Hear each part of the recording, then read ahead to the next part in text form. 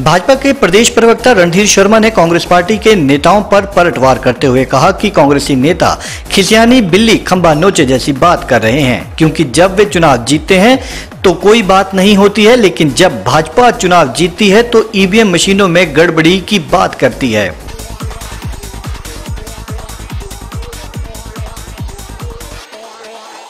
उन्होंने कहा कि कांग्रेस पार्टी हालाँकि पंजाब, राजस्थान, मध्य प्रदेश और छत्तीसगढ़ में चुनाव जीत चुकी है तो उन्हें ईवीएम में कोई गड़बड़ी नज़र नहीं आई। लेकिन जब भाजपा ने देश में पूर्ण बहुमत प्राप्त किया है तो आज उन्हें ईवीएम में गड़बड़ी नज़र आ रही है।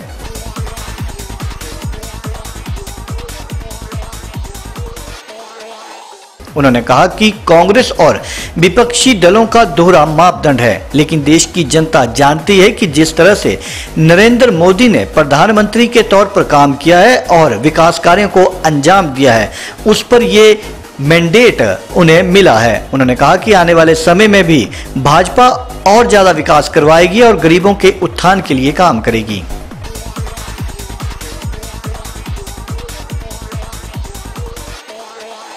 हिमाचल प्रदेश के विभिन्न जलाशयों में पहली जून से लेकर 31 जुलाई तक लगभग दो महीने के लिए मछली आखेट पर पूर्ण तरह प्रतिबंध रहेगा, क्योंकि मछली के प्रजनन के लिए इस अवधि के दौरान मछली के आखेट और मछली की बिक्री पर पूर्ण प्रतिबंध रहता है।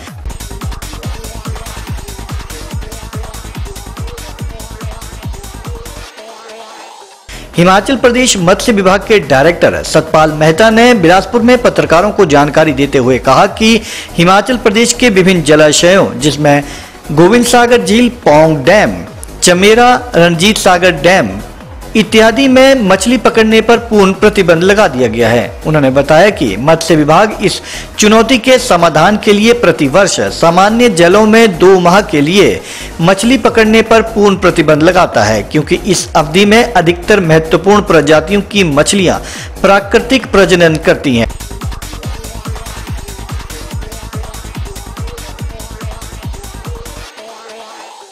जिससे इन जलाशयों में श्वेता मछली बीज संग्रहण हो जाता है। उन्होंने बताया कि इस कार्य के लिए विभाग को मत्स्य धन संरक्षण का कार्य बड़ी तत्परता से करना पड़ता है।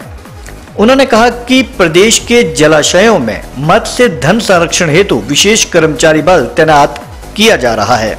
उन्होंने बताया कि बंद सीज़न अवधि में प्रदेश के जलाशयों में कार्यरत मछुआरों को बंद सीज़न राहत भत्ता योजना के अंतर्गत दो माह में तीन हज़ार प्रति मछुआरा सहायता राशि भी प्रदान की जाएगी।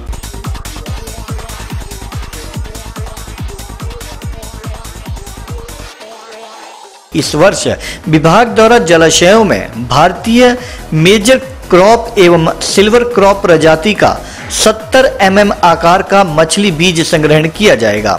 उन्होंने बताया कि बंद सीज़न अवधि में कोई अवैध मत्स्य शिकार को अंजाम ना दे, इसके लिए विभाग ने व्यापक प्रबंध भी किए हैं, जिसमें फ़ील्ड लेवल के कर्मचारियों की छुट्टी तक बंद कर दी गई है। उन्होंने बताया कि जलाशयों में अवैध मछली शिकार को रोकने हेतु विशेष कैंप भी लगाए जाएँगे। साथ ही इस तरह के 16 कैंप पोंग जलाशयों में, गोविंद सागर झील में 16 कैंप, चमेरा में एक, रंजीत सागर डैम में एक और कोल डैम में तीन कैंप लगाए जाएँगे।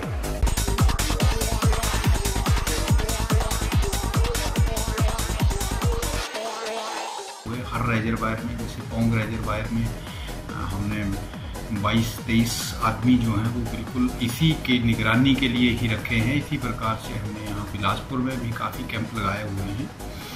और इस पर्टिकुलरली ये जो आपका ये प्रजनन काल होता है हमारी मछलियों का, इसलिए क्लोज सीज़न हम लगाते हैं। तो इसमें मत्स्य अखेट के ऊपर बिल्कुल प्रतिबंध है। चाहे वो पानी जो है, वो सामान्य जल हो, चाहे वो लेक हो, चाहे वो रेजर रेजरवायर हो मतलब सभी में जो है, ये बंद है सामान्य पानी में, ये बिल्कुल मत्स्य अखेट बंद होता है।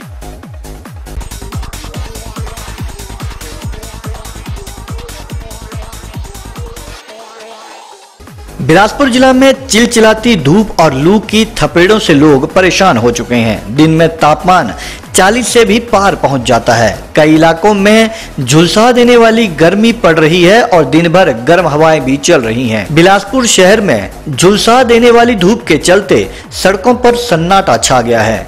खतरे की घंटी ये है कि आने वाले तीन चार दिनों तक शहर अभी और अधिक तपने जा रहा है। इस अवधि में बारिश होने की संभावना कम बताई जा रही है। जिला में पड़ रही इस भयानक गर्मी से लोगों का दिन के समय में घरों से बाहर निकलना भी दूभर हो चुका है।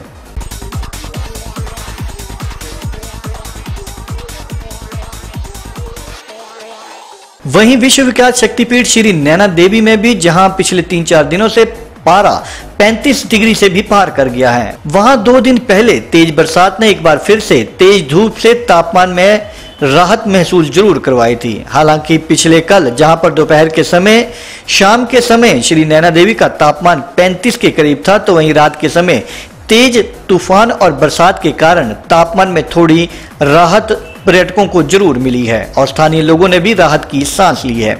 मंदिर न्यास के द्वारा श्रद्धालुओं को गर्मी से बचाने के लिए कूलर, पंखे, फुटमैट आदि लगाए गए हैं।